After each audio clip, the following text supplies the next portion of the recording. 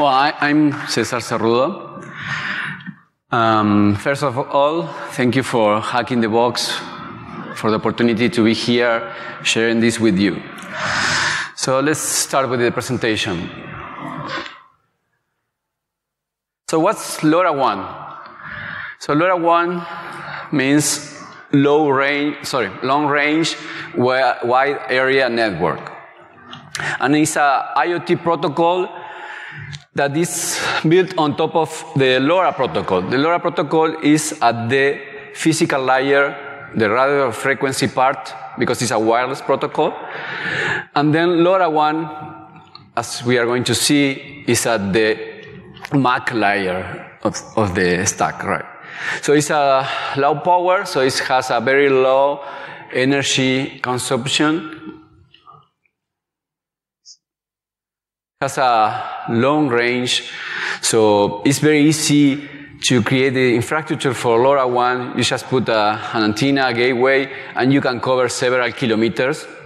There have been records in, in Europe where people put the devices in a balloon and they just let the balloon go, and they have been able to transmit up to 700 kilometers.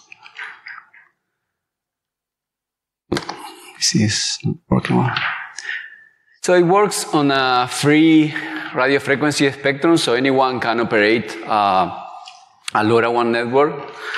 Then it's a very robust protocol, so it has very uh, low interference, so you can really rely on, on the transmissions.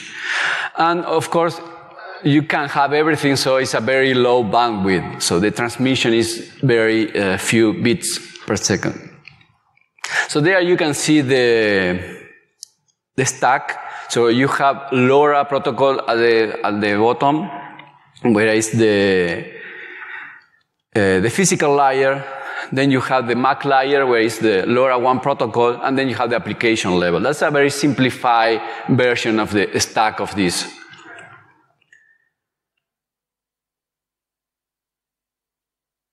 So this is a uh, how the infrastructure looks like is very simple.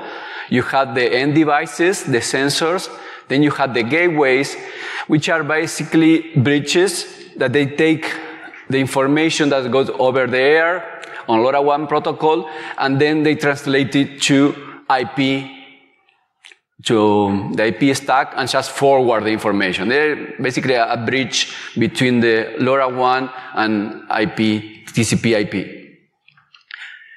And then the network server is the one that will get the information from the gateway. They will parse the information from the LoRaWAN protocol because the, basically uh, the protocol is encapsulated over TCP IP.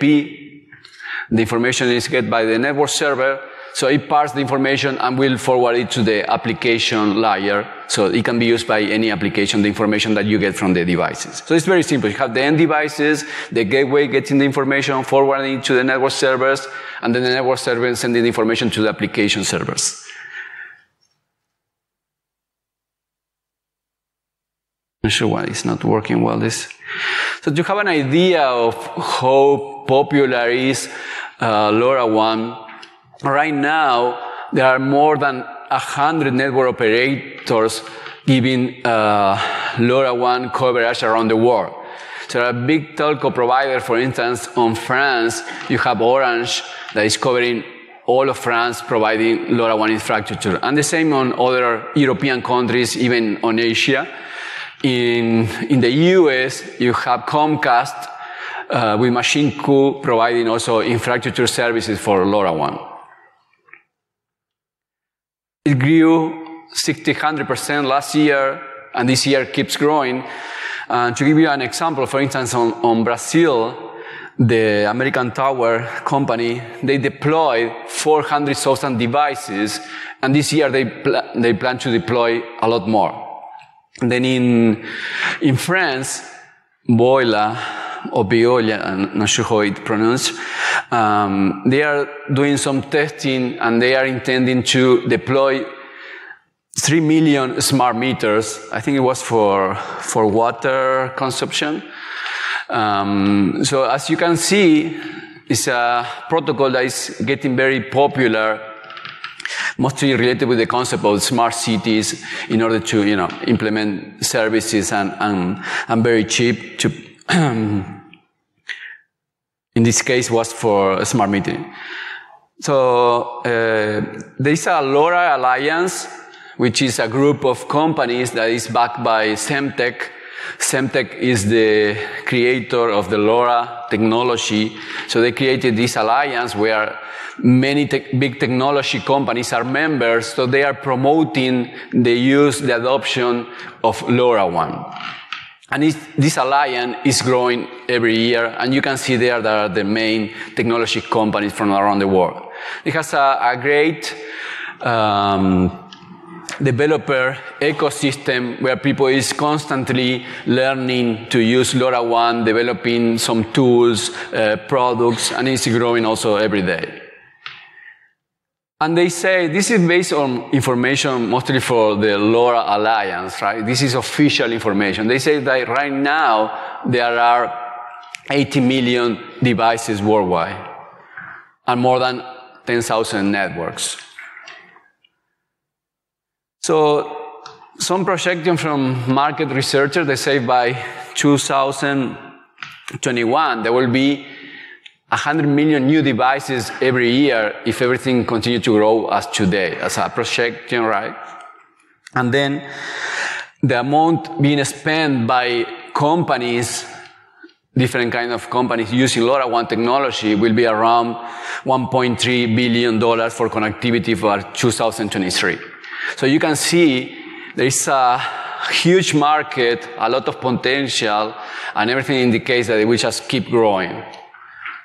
And that's some of the companies that are members of the LoRa Alliance, and you can see how it is growing over the year. So in 2015, there was just starting IBM and Semtech, uh, one of the few companies starting with this. And right now, you have more than 300 companies that are part of the LoRa Alliance. So they are pushing uh, really hard for this technology and trying to get implemented worldwide.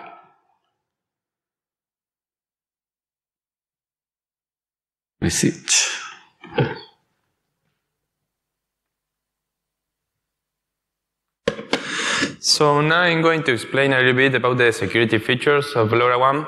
And I want to recall here that it's going to be about the LoRaWAN in its version 103. Um, there's nowadays a newer version, but uh, that I'll explain later in the, one of the last slides. So for Starting, one of the security features that LoRaWAN provides are counters for messages, for both messages that goes from devices to the server and which is the uplink traffic, and uh, messages that come from the server to the to the devices. These counters are of 16 bits, so these counters go from zero to approximately 65,000 and once they, they reach its highest limit, his, its highest value, they go back to, to zero. They are reset to zero. Another feature which is optional are the, the, the possibility to confirm the messages sent from the devices to the, to the network server. Uh, the third feature, and this is uh, very important, is the integrity control that it provides. And this is this integrity control is achieved by using the network session key, which which and and this is only between the end devices and the network server. And please note that there is a line in red with a question mark, and that's to to to note that there is no, or LoRaWAN doesn't define integrity between the network server and the application of the, the, the user applications. And we'll see that that's like, um, that's seen as, a, or, or that derives in a vulnerability later. Another cool feature, very important, is the possibility or, or the the feature to, to encrypt the messages between end devices and the applications, and this is end-to-end encryption, and this is achieved by the, by the application session key. So the way this two application session keys are, are generated or retrieved, it's based on the, on the activation method that was chosen for, for each device. Uh, LoRaWAN offers like two activation methods. One of these is the ABP, which stands for activation by personalization, and the other one is over-the-air activation. So I'm going to explain a little bit about this kind of activations. So the first one is the ABP, which is the more simple. Uh, it only requires that session keys are hard-coded into the devices and in the network server, of course. So it has like a kind of couple of bad implication in security because it, we'll later see that this, to, to have the session keys or to reuse the same session keys, it implies to use the, the same cryptography for, for, uh, for achieving the integrity and encryption. And we'll see that that's not a, a, a good practice and it's, um, it's not recommended for production environments. On the other hand, we have the over-the-air activation where the session keys here are generated like dynamically. Um, and this is achieved by uh, a procedure which is called the join procedure which we can see as a kind of handshake between the, the end device and the network server. Um, here, the, the session keys are generated uh, starting with a root key, which is called the, the app key. And this key is the one that's hard-coded in, in, the device and in the network server, of course. So this join procedure is always started by the device by which sends a, a join request messages, message where it travels many data, but the most important for, for here are, are two. First is the device identifier, and the other one is the dev nonce. Um, the dev nonce, for those who don't know what's a nonce, it means number used once. So this nonce is used for, for um, avoiding replay attacks of, of the join request messages. And this data is signed with the app key. We'll later see uh, how the, the signing is done. So when the network server receives this message, uh, it first of, first of all, it, it checks that the device is properly part of the LoRa, uh, LoRa network it wants to join, and then it replies with a, with a join accept message to the to the device. And so th this join accept message message also has like uh, many data, but the most important here are three. First, the, the, first one is the device address, which is an identifier that lasts uh, the same, or, or, it's yeah, it lasts the same as the session keys. It's like a session identifier. Uh, the other data is an app nonce, which is the same as the dev nonce, but here it's generated by the network server. That, and that's for the same purpose to, to avoid replay attacks. And the last one is a network identifier, which is an identifier that all the devices across the network uh, share. And this data is encrypted using the app key. Uh, so uh, um, if we want to sniff, for example, uh, join accept, we'll only see the, the header that says the join accept, and then we'll see like a, a big chunk of encrypted bytes. So once, the, once these messages are exchanged, now the both elements can generate the, the, can derive the session keys, and once they have they have the session keys, they can start to exchange data messages between each other. So I, now I'm going to explain the, how the integrity and the confidentiality is achieved uh, in a high level. Uh, and this is, this is also in, in LoRaWAN v version 103. So to achieve the integrity, uh, all the messages are appended with a MIC, which stands for Message Integrity Code. Uh, and to compute the MIC, we have like two big steps.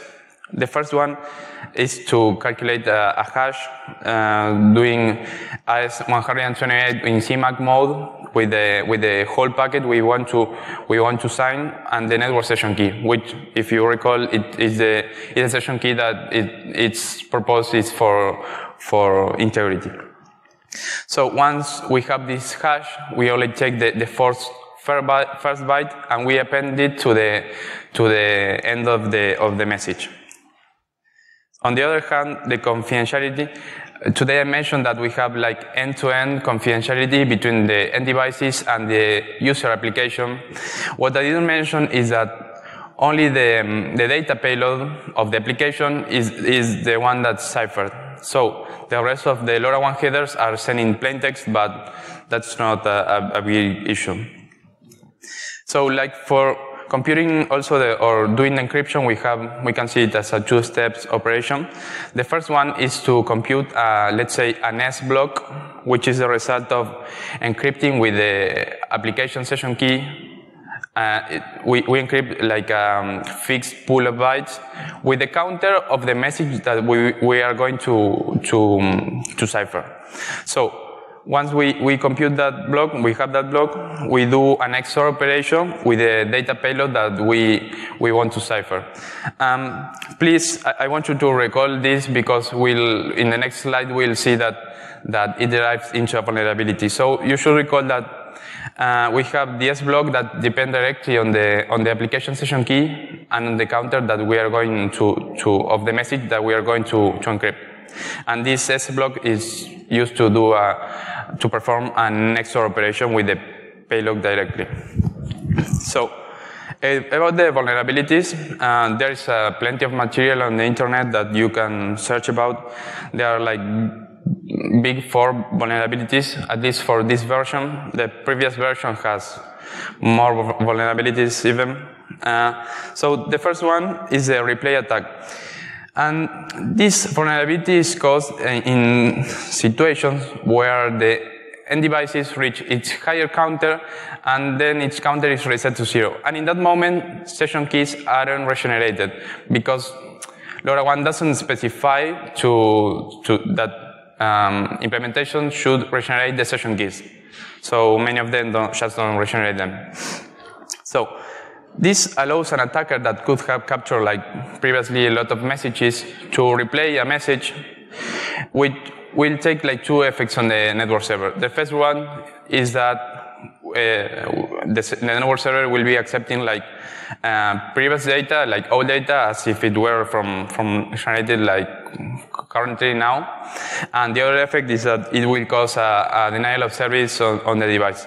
And this is because uh, LoRaWAN specification which says that network servers should only accept messages with a higher counter than the last counter that was received. So put, let's put in, in practice.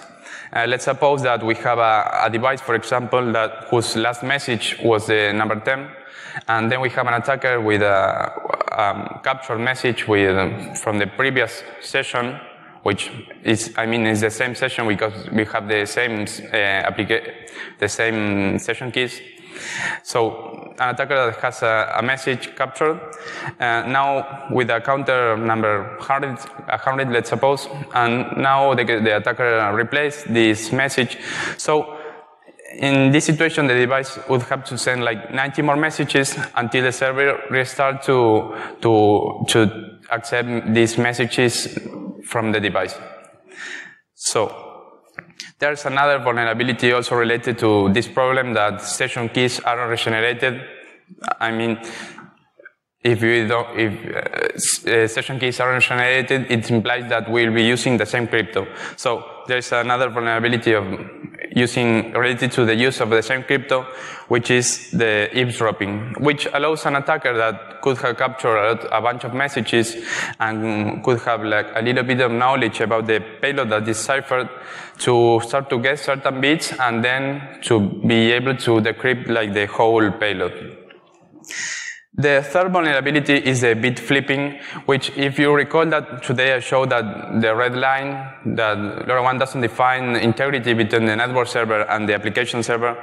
So uh, an attacker that could have access to that channel, I mean between the network server and the application server, could flip certain bits and which will, will be unnoticed by the end user at the decryption time. And of course, the, the user will, will get uh, incorrect data different from the one that was previously sent from the device. And the last vulnerability is the acknowledged, acknowledged messages spoofing. And this is because acknowledged messages don't specify which message they are confirming. I mean, they don't specify the counter of the message they are confirming. So an attacker that could have captured at least one acknowledged message could start to replay this message to the devices, so the devices would just keep on sending messages as if it were like normal, uh, unless or uh, and for example, if there's no connection with the network server, the, the devices would just keep on sending messages. So this, what I previously mentioned, was LoRaWAN in its version 1.03. Uh, nowadays, we have this new version, which is 1.1, where the, most of the vulnerabilities that I mentioned later were, were pretty much uh, mitigated. Uh, we can see that here in, the, in this new graphic, we have a, a couple of more elements in, in, the, in the infrastructure, where the most important is the join server now, uh, whose responsibility now is to generate the session keys instead of doing so the, the network server. Uh, moreover, we have like, instead of one root key, instead of the app key, we have like two root keys now. And instead of having two session keys, we have six of them now. And there are other cool features more. So this, um, the, the, security in this version of LoRaWAN was pretty much uh, enhanced, but there is a, a, big issue with, not with the protocol itself, with, but with the vendors. And that's, um, the, the problem is that the vendors aren't still embracing this, this new version. For example, there are even still vendors that they're using the version 102, which has a, a lot of more vulnerabilities proven than, than the version that I was speaking about late, um, earlier. Sorry. Let's see one of the main problems with uh, LoRaWAN security, which is that keys are everywhere. And by everywhere, I really mean it. Um, as you heard from Matthias, you have the app key, which is the, the root key, and is the key for everything because that key is used to generate the session key and also uh, the application key. So we have the, the keys that should be put in the device. So they are usually put by the device manufacturer. So they will embed the keys on the firmware or or any um, other chip in the device and we ship the device to the person or to the company acquiring the devices. So that's one possible leak. You know, the vendor knows the app key. Then how they transmit the key to the user, to the end user. They put the keys in a device level. So anyone with physical access to the device can read the keys uh, from there. Like I said, they, they, they put the device in the firmware, on the memory of the devices. That means that also someone with access to the device can extract the key from the firmware, from the memory. Then when you are, you know, deploying devices, someone has to configure them, someone has to install them. So for that, you have technicians that they will have to, you know, configure everything so the devices can be part of the LoRa network. And this technician also have access to the app key. We also have found, have found uh, the keys that are available in open source code. So you look around in the internet, you will see that the keys sometimes are leaked there as an example, sometimes distributed by the, the vendor so they can, you can implement your own firmware, your own features. Then for deployment, for configuration, like I said, the technicians use a mobile application most of the time. So the, the keys, once the device is configured, will remain in the mobile application too. That's another way uh, to get the key. When the vendor ships devices. Sometimes they will ship, you know, in devices in the hundred, in the thousands. So one way they used to share the keys also with the, with the user is in an Excel sheet or in a text file. They will send all the keys there. They will send it by email. They will send it by, you know, other communication channel, but they will share in a, in a file. Then, uh, the network servers and in the newest version, the join servers, they also have the keys because they have to create the session key from, from that, right? And then we even have found uh, keys on forums where you know users are trying to to to program their devices or try to use the LoRaWAN network, and they will ask a question and they will mention the keys they are using on their devices. So you can see there there is a lot of places where you can get the key, and this key is used for generating the most important keys. So if you get this key, then game is over. You can get the traffic and decrypt it. So there you can see some ex examples in, um, of the key in the, one is uh, the label in a device, where the key is printed, and the other is a part of a mobile application where the, the key is uh, configured or read from the device. So on top of that, then use it in production, you have many problems with weak keys, wikis. So people will use uh, non-random key or really easy to get keys. For instance, they will put all ones in the key, they will put all zeros, or they will put zero, one, two, three, four, etc. Um, and we can see this on, on, on production system because we have tested this and found this in the wild. Some vendors will ship keys that are hard-coded, that are fixed. You can't change them. They will provide documentation saying, okay, the keys on your device is this, and you have to use this key and you can't change it. So it's, it's very stupid, right? Because someone with access to the documentation or someone with access to the, to the, like I said, text file or to the labels can find the key, then decrypt all the traffic, and you as a user are not able to change the key. Another common problem is that you have a deployment, I know, a hundred thousand devices, and they will use all the keys, the same key for all the devices. Which means that if someone compromises the key, then he will have access to the whole network. And then another problem is that the, the app key is uh, created using some public available information that is, is trans transmitted in clear text by the protocol. For, for example, by the app e UI or the dev UI, this information is sent over the air in clear text. Um, in some deployment, people is using this information that is publicly available to generate the app key. So what are the main threats well, like I said at the beginning, this is a, a technology that provides long range communication. So you can capture with the right equipment, which is not expensive. It could be an antenna that worth, a hundred dollar, and a gateway, which is very, very, very cheap too. You can capture packets from miles away, kilometers away.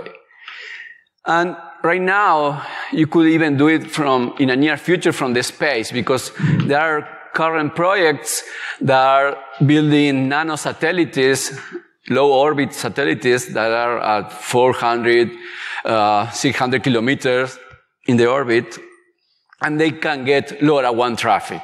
They will be like satellite gateways for, for LoRaWAN networks. So as you can see, you could be able to capture LoRaWAN traffic as an attacker for a really long, long way. So another threat is the offline key cracking. That means that you can capture LoRaWAN traffic, save it, and then based on all these problems with keys that I already mentioned, you can use a key cracking program let it run in and try to find keys for the uh, network that you already captured the packets. Even like Matthias mentioned, in the new version, there is another key, but the, that key has the same problem. So you could also crack that newer key. Another threat is that the key stealing, because like I said, the key is available on the devices. So if in a real life deployment, you could be, you could have a device that could be accessed by someone physically. He could steal the device and then extract the key from the firmware from the memory. By Bluetooth, how? Because sometimes some devices offer functionality, like I said, to configure by a mobile application. So you connect to the device by Bluetooth, and there you can configure the keys, etc. So if Bluetooth is not a very secure protocol, and sometimes you get default uh, synchronization keys. So you could, as an attacker, use Bluetooth to extract the key from a device. Then, like I said, the manufacturer put the keys on the device. So if, as an attacker, if you hack the manufacturer, you could have access to thousands of, of keys. The same with the service provider. The service provider or the, that runs some part of the infrastructure, they runs the network servers or the joint servers in the newer protocol. So those servers have the keys from the whole network. So as an attacker, if you can compromise the server, then you can download all the keys. Another threat is that malicious uh, data injection. Once you can, uh, once you got the keys, then you can decrypt the, the, the, the, messages, the packet, the traffic. That means that you can create your own messages, your own packets. So you could inject fake data in a LoRaWAN network. Yeah, another, the, another threat is related with denial of service attack. Because once you get the keys, then you can desynchronize, for instance, the, the communication between the devices and the network servers. Like Matthias said, you can increase the, the counter of the messages, so the, the network server will ignore the real uh, messages from the devices. Um, there are other also in denial service attacks because you can just play with the protocol at will and, and then the, the devices or the network everyone be able to communicate with each other. And now we are also starting to research some possibilities with a newer version where we could create ransomware in the way that because we get the keys, then we can change the session keys and then the network won't work because the, the network infrastructure won't be able to communicate with the devices. So we are starting to research possible ransomware where we change the session keys and then you as an attacker can ask to the infrastructure owner, okay, you want to communicate with your devices, then you have to pay to get the, the keys. But that's not, we are just starting, we, just to mention as an idea mostly at this stage because we haven't finished doing tests, but it is an interesting concept.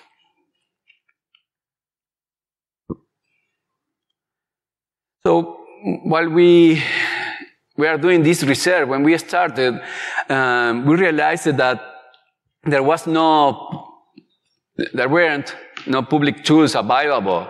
So if you want to to hack a LoRaWAN network, or if you want to audit the security of a LoRaWAN network, then you don't have any tools available. You have to create your own. You have to start from scratch. Um, so we decided that it was a good idea to create our own tools and then share those tools. And this is important because, for instance, if you are running a LoRaWAN network, you don't really know if someone is trying to hack your network, if someone is already hacking your network, if your keys are weak. Um, so basically, you run your infrastructure blindly and you don't know the, the current state, uh, status of the security. So tools also will be very uh, valuable if they can help you to test the network, also monitor the network for cyber attacks. So right now, if you are running, everyone in Europe, in Asia, in America, that is running a LoRaWAN infrastructure, they don't really know what's going on in their network in, in matters of security. They are just completely blind. They blindly trust the network. So we created this framework. We call it LoRaWAN Auditing Framework, which is a set of open source tools. From one side, we have the pen test tool that allow you to capture traffic, to sniff traffic over the air. It's allow you to uh, create packets also, craft packets, do some key cracking, even fuzzing of the, of the protocol. And from other side, uh, for the, the, the pen test tool will be for the offensive part, right?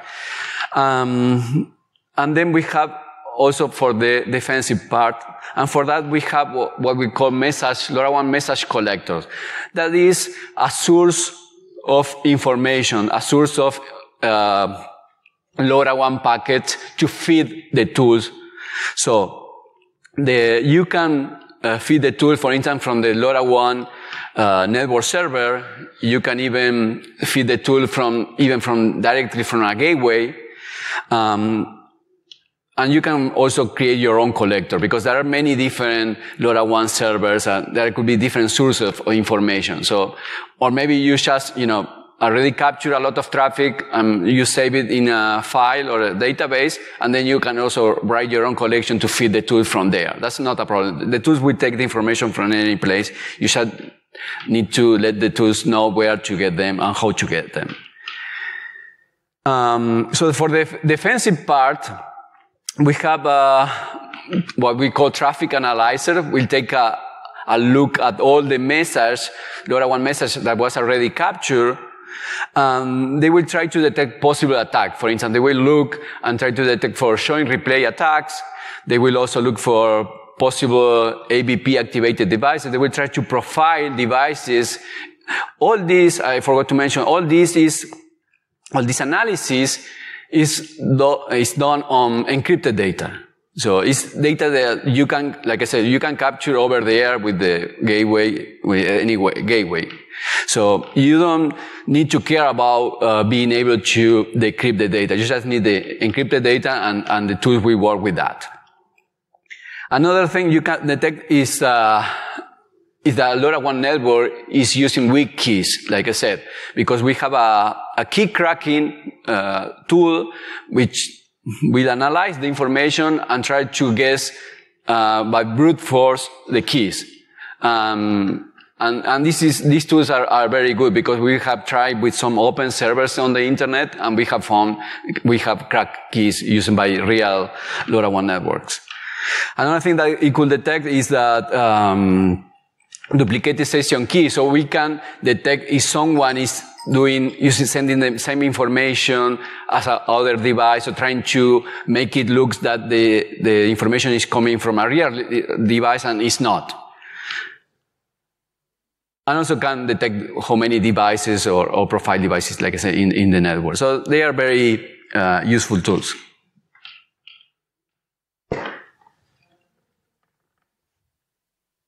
So now I'm going to comment about the uh, architecture of this framework. Uh, we can see that it's uh, modularized like in three different modules. Uh, the first two, the one from the left and the one in the center, they stand for like the defensive part of this framework, uh, where at first we have the collectors, as Cesar mentioned, uh, the collectors fetch packets from many different implementations of LoRaWAN and they save they save these packets in a standard way into the into the DB. So now the, the analyzers are able to fetch those packets and run different analyses or brute forcing uh, analysis, for example, to look for certain patterns on the traffic, and then they in base uh, based on these uh, patterns they raise different alerts. Uh, and the, the last module is um, it's composed or it stands for the offensive part of this framework, and it's composed by many micro tools which are meant to mainly pen test or to audit or to inject packets into the into the into a real LoRaWAN network. So we can craft messages, and we can parse messages, we can fast data and send it to the to a, a valid gateway, for example, and many other things. Um, these tools were written in Python. Maybe the 90% of the, the tools were written in Python 3, and the 10%, the, the rest, it was written in, in Golang. Uh, we also used uh, SQL Alchemy for the access to the database so that uh, users can choose between, for example, SQLite or PostgreSQL, depending on what do you want to, to really do with the framework. If uh, if you want to use it for the defensive part, you may want to use PostgreSQL, or if you want to use it for defensive part, you may want to use uh, SQLite. And all these, all these framework is packed into the into a container so that users can really uh, set up and, and run the, these tools without having to, to deal with the dependencies and, and all, all that stuff. So about the, the hardware that we were using and we are currently using, uh, we, we have been talking about the gateways, the, I mean the, the, antennas that communicate with the devices. So this is a, a gateway. This is a semi-professional gateway. Um, so this is composed by a Raspberry Pi 3 and a small transceiver, which is the part that can really talk in, in LoRa, in LoRa language. Uh, this transceiver, it costs more or less $200 and it, here it runs like two different components of software. And we modified one of them, which is the packet forwarder, to, so that uh, the, the gateway can behave as if it were a device. And this, what's this for? This is for uh, injecting like real packets to the, to the, to a real other gateways so that we can send packets from this gateway to another gateway as if it were a device. And this is also uploaded in, in GitHub, so you can download and, install in your in your gateway. Uh, by using this this gateway, we found a couple of limitations. Uh, the, the, first one is that we can we can only listen to uplink traffic. We we try to modify the software in order to listen to the downlink traffic. I mean the the one that comes from the from the network server to the devices, but we were we were not able to to do this. And the, the other drawback is that at least with this gateway, we can only listen out uh, 8 out of uh, 64 channels. Although nowadays we have like more professional gateways that, that allow you to listen the, the whole um, amount of channels, but they cost like 10 more times than, than this one. So having these these uh, limitations in mind, we started to think about like what to use uh, to, to avoid this problem. And we came up with the idea of using an SDR. Uh, for those who don't know what's an SDR, it's like a small device you plug in into your computer and it provides you like an interface between your computer and the RF world. And then we, we started to research about SDRs. We found that the best one for, or, the most suitable for, for this uh, scenario was the Lime SDR because it provides like, a, or is the one that has the, the biggest bandwidth in, in, in, the market. And at least is the bandwidth that we need uh, for the LoRaWAN, uh, LoRaWAN frequency plan that we are using, for example, in Argentina. And this device costs like approximately like $300. And we've also found that there are many plugins for LoRaWAN for the, um, for the SDR software that you can download and install and, and set up so that this way we can listen to both uplink and downlink traffic and we can also, we, we could, we would also inject packets into the, to, to the real um, LoRaWAN infrastructure. And now we are researching, we are trying to, to set all, all the stuff together, all the software together to make it work. And we are currently doing that. So, uh, I'm going to show a little bit about the, the, the software, the, the framework.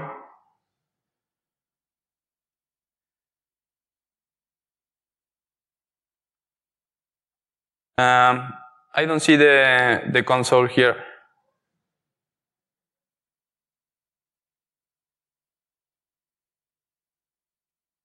Let's see.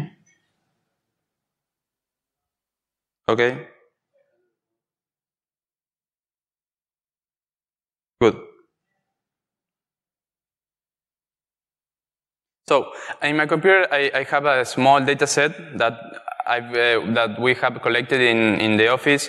Uh, it, the, the data set it's with a, for um, it was from a real network that where we stole the, the app key and like generated the, the session keys and then we started to inject different packets in order to to like as if it were a, a real attack. So um, I, am going to to launch the the analyzer, for example, that's for the defensive part and okay, we'll see that now it starts to, to process the it's in verbose mode now, uh, that we, it will process all, all the packets and it's, uh, it's, it allows you to, to process in real time as well. And let's see, for example, uh, a couple of alerts that it fired. Um, so here, for example, we have the alert that it found the, the a repeated uh, dev nonce, for example, which should be random. Uh, and here we can infer that someone maybe was trying to, to inject a join request into our network and it says, okay, you, this is the ID of the message, so go and see to, to the database, for example. And it also tells you the, for which uh, device uh, the, the, the join replace was, was done. Uh, another alert, for example, here it detected that it came a message with a lower counter than the, than the last counter of the, of the device. So here, for example, you can infer that maybe someone stole your app key and generated the session keys and now is injecting or trying to inject um, real data as if it were the real device. Um, and the last one I want to show you is because we we we are also recording the, the location of the gateway. And for example, here it says that the gateway uh, was moved. You, you, can set up as if it were like a policy. How many meters do you want to, to, to check or you want to allow to the gateway to move? Although it's not a, um, a common situation to, have a, a, portable gateway, but we are also checking that. Uh, so here in this situation, for example, you can infer that uh, someone stole your gateway and he's he's with with your gateway uh, visiting around. So uh, another um, another module of the analyzer is a brute forcing brute forcer, uh, which uh, grab uh, requests and join accepts and try to brute force with um, with possible app, app keys that in the framework, for example, we have published in, on GitHub like um, a list of the all the all the app keys that we have found um, from vendor sites and as Cesar was talking about. So we try with with all those keys, and we also generate like two thousand hundred more more keys on on the fly dynamically. So for example, here it says that this key was found for this device, which has now this device address, and using the, the join, request with uh, ID 6 and the join accept with ID 7. And let's check it into the database, for example. So here we have the ID 6 so here we have the join request. Um, usually, uh, LoRaWAN uh, uses base64 for packing its messages. So now we have this, this join request and join accept. We can, and the app key, we can now uh, derive the session keys. So I'm going to show you how, how easy it is to do that. Uh, I have another console here. So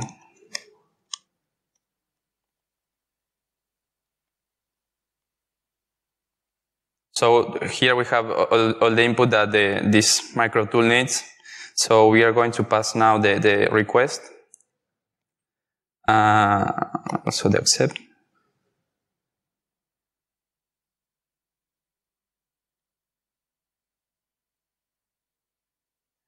And finally, we need the, the key that was found in here.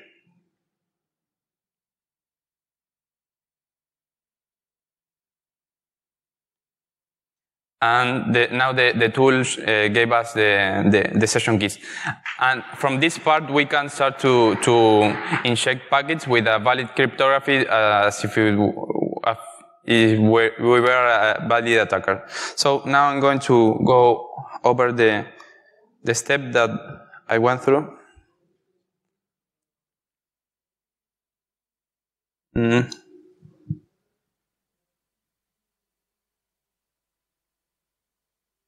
So the, I first had a, um, a data set in, in my database, and then I launched the, the traffic analyzers, which look for patterns in the traffic, and then I launched the brute forcer. There you have, for example, the, the, the commands I used.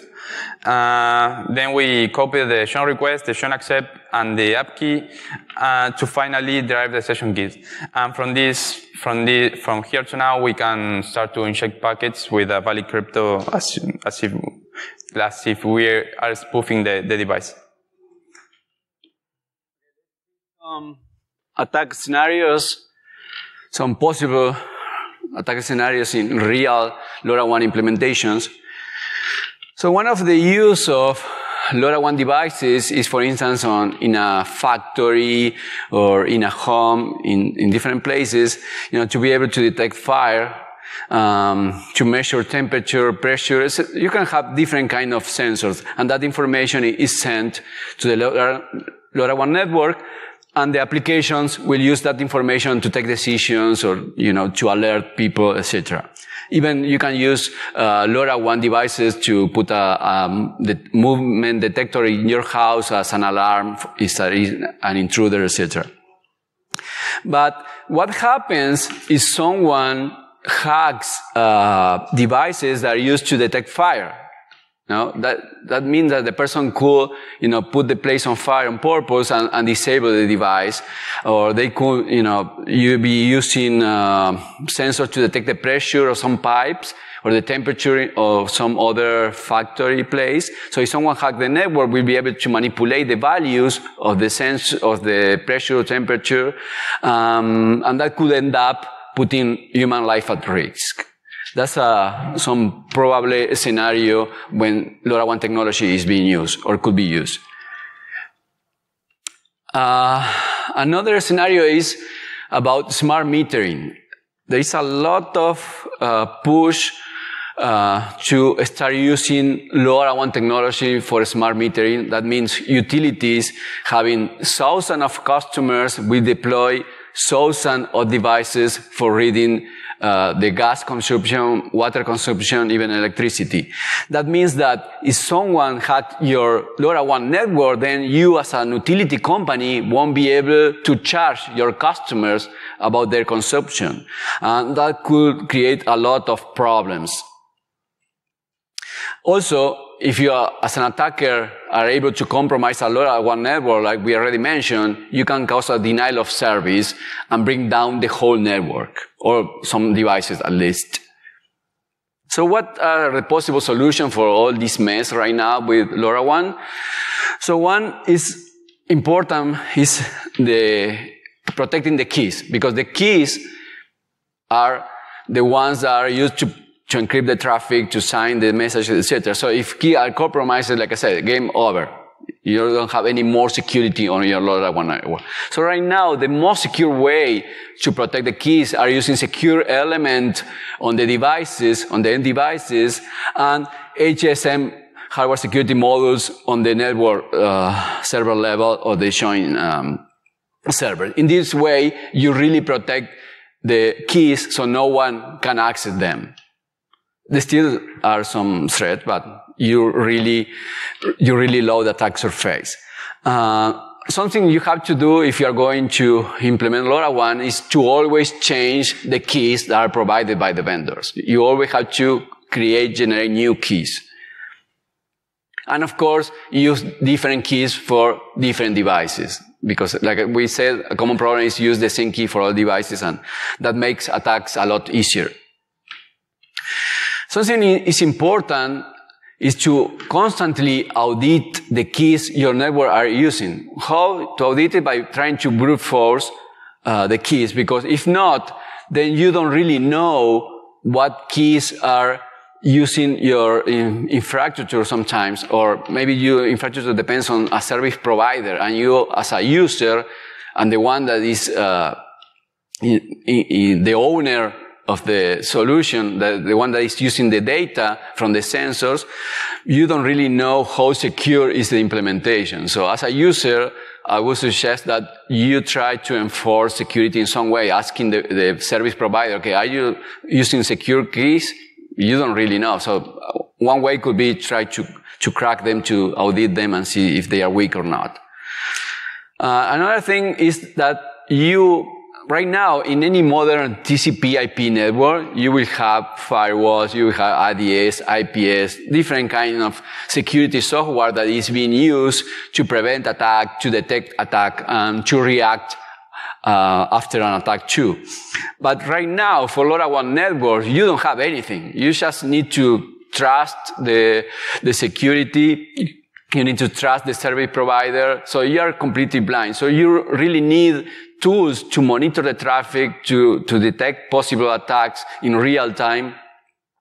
Um, for that, you need tools, but also what you need to do is to audit uh, your, LoRa, uh, your LoRaWAN network the same way you audit your TCP IP network, because you need to make sure that your LoRaWAN network is secure and will be able to reject attacks. It won't be very easy to hack. And for that, okay, you have to have, you know, your own team doing the audit or you can hire external teams. And like I said, you know, you need software to monitor in real time and to detect and to prevent attacks. So that's all, that's all. Um, there is the GitHub where you can get the tools, the framework. So feel free to play with them. So if you have any question, let us know. We are really glad to, to, to have people using the tools to contribute to them if they want, or we can help to solve problems if, you have some problems. That's it. Thank you.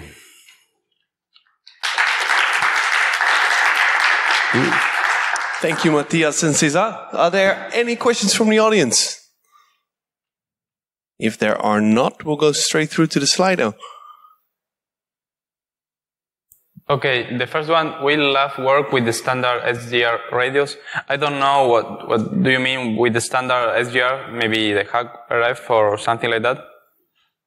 I don't know if it depends on the frequency of the. Yeah, the, the, the thing is that um, th this framework is not coupled to the to the to the to a certain SDR. We proposed the Lime SDR because we saw that the bandwidth, its bandwidth, it's bigger, big enough to, to cover the, at least the bandwidth that we need there in Argentina. Uh, although there are others frequency plan that don't, don't need uh, such a big bandwidth and you can use, for example, a HackRF um, you know, the, the, there are many plugins. For example, the, the plugins that I showed, uh, it works for, for HackRF and it doesn't work, I mean, it doesn't support directly Lime SDR. So that we, uh, we were, that's what we were like, um, trying to, to work out. So the other question is, what kind of support does LoRaWAN need for the industry? So what kind of support does LoRaWAN need from the industry for widespread adaptation, adaptation of it? What means by adaptation? adoption or, or adaptation? What? Adaptation? Okay. Uh, mm, not sure what it means. Uh, maybe it's adoption or, or adapted to what? Uh, no. Yeah, because so, LoRaWAN allows you to, to build, to build whatever you want on top of it. I mean, your application, LoRaWAN only allows you to send message, messages to, to devices that are remotely so that you, can put whatever you want on top of LoRaWAN. Um, and there is, in my opinion, I think that there is already uh, a lot of support from the industry to, to make things work.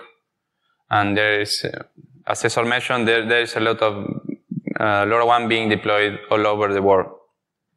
Okay, the last question is, is it common for the LoRa devices to be configured via Bluetooth? Is it rather classic Bluetooth, VR, EDR, or the new low energy that often does not require pairing, just some app layer pass?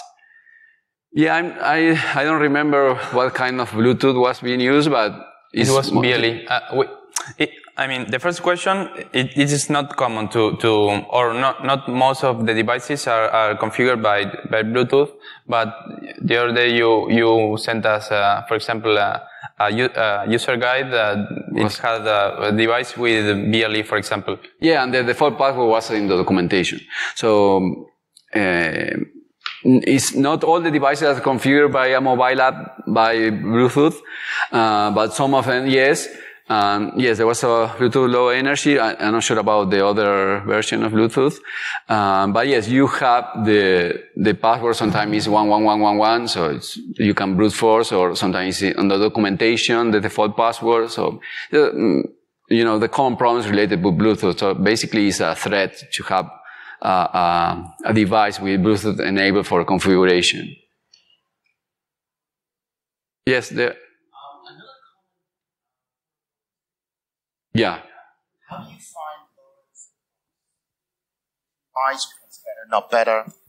Well, the main three years time, how do you? The, one of the main difference people mention about that is that LoRa one, while the LoRa part is uh, patented by Semtech, so Semtech is the owner of LoRa, the radio frequency part.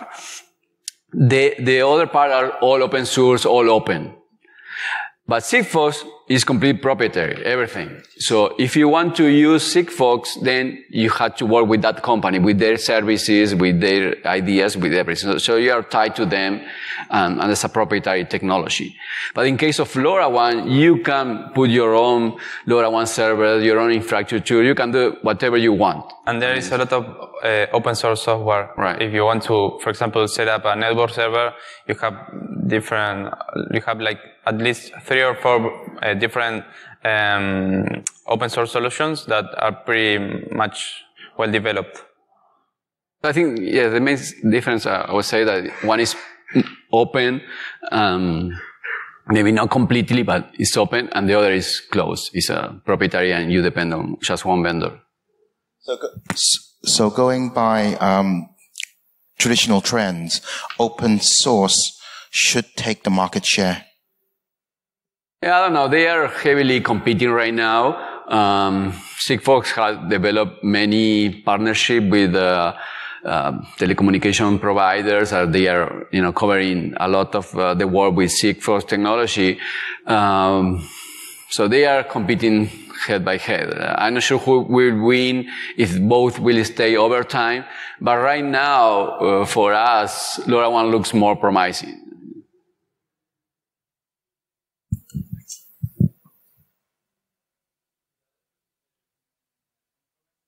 The cloud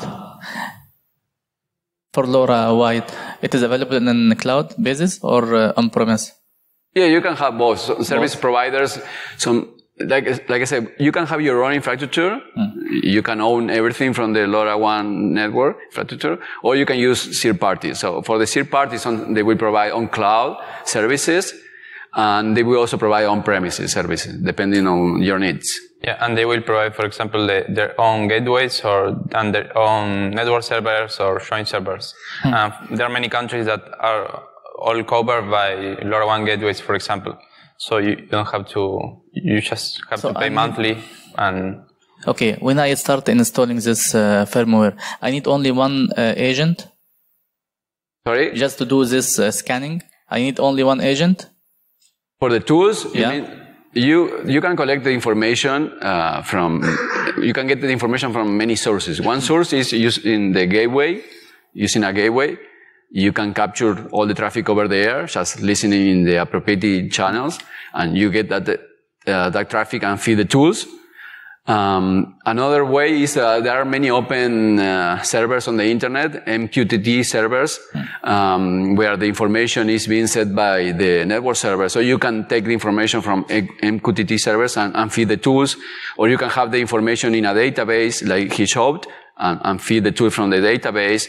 So basically, the tool will take information from anywhere. You have yeah. Uh, for defensive for the defensive part, we I recommend to to grab the the messages from the MQTT servers that are, are fed by the network server, and that's the there you have like more rich information that than yeah, in, in, the yeah. in the gateway. Yeah, and, and that way you you can should only collect in one place and, and that's it. You, you in grab site only. It is not required to like. Yeah, yeah. The, and, there's only one. Yeah, point. and also for the defensive, probably you are the owner of the infrastructure. You have access, so mm. you you can choose that part. that way, which is the easiest part. But for the offensive, if you are testing the LoRaWAN network or if you are trying to hack it, then you probably will go with a, you know, with a gateway and try to. or an intercept. SDR in, Right. maybe in the future. Okay, thank you. Thank you. Thanks. Any more questions? Okay. Then. I would like Thank to thank you. Thanks. I would like to thank uh, Matías and Cesar. Thank you. Okay, Thanks. Give him a big applause.